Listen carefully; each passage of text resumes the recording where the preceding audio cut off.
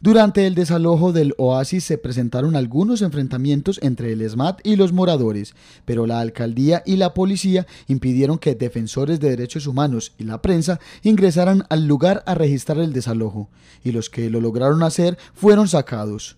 Uno de los reportes indica que son más de cinco los heridos. Sí, desafortunadamente tenemos un menor de edad discapacitado, asfixiado por los gases lacrimógenos que lanzaron el, eh, el cuerpo policivo tenemos cuatro mujeres, todas eh, cabezas de familia, lesionadas por golpes, una asfixiadas igualmente por la, gases lacrimógenos.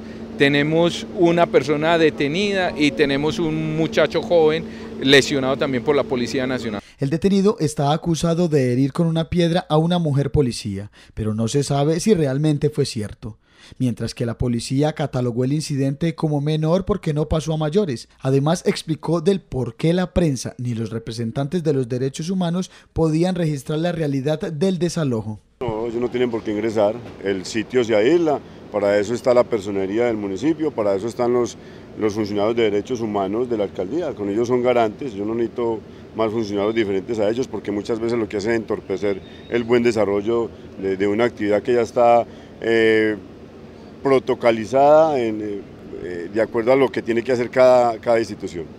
La realidad de las cifras no se ha podido verificar, como ha ocurrido en otros desalojos de la ciudad como el del pasado Villa Café.